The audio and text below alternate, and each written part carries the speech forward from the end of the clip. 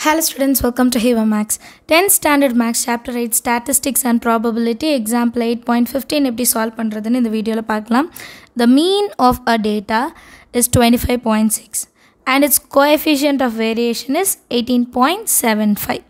Find the standard deviation அப்படின்னு சொல்லி கொடுத்துருக்காங்க ஸோ மீன் வேல்யூ என்ன கொடுத்துருக்காங்க twenty five point six coefficient of variation என்ன கொடுத்துருக்காங்க எயிட்டீன் பாயிண்ட் செவன் ஃபைவ் இப்போ கோஎஃபிஷியன்ட் ஆஃப் வேரியன்ஸை வச்சு நம்ம ஸ்டாண்டர்ட் டிவியேஷன் கண்டுபிடிக்கலாம். இந்த ஃபார்மில் தெரியும் இல்லையா?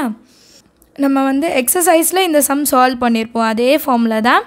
ஸோ சிவிக்கு வந்து என்ன எழுதணும்? Eighteen point seven five is equal to standard deviation தான் கண்டுபிடிக்க போகிறோம் மீனோட value twenty five point six into hundred percentage இப்போ ஸ்டாண்டர்ட் டிவியேஷன் கண்டுபிடிக்கணுன்னா டினாமினேட்டரில் இருக்கிற டுவெண்ட்டி ஃபைவ் பாயிண்ட் சிக்ஸ் நியூமரேட்டருக்கு வந்துடணும். Twenty five point six divided by நியூமரேட்டரில் இருக்க ஹண்ட்ரட் பர்சன்டேஜ் டினாமினேட்டரில் வந்துடணும் which is equal to standard deviation ஆகிடும் சரிங்களா?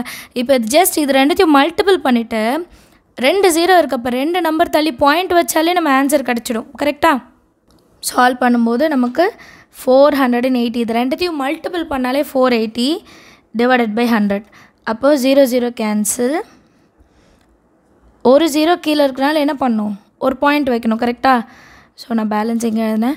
Standard deviation is equal to divided by ten இருக்கிறனால ஃபோர் பாயிண்ட் எயிட் அப்படின்னு எழுதிட்டா போதும். சரிங்களா?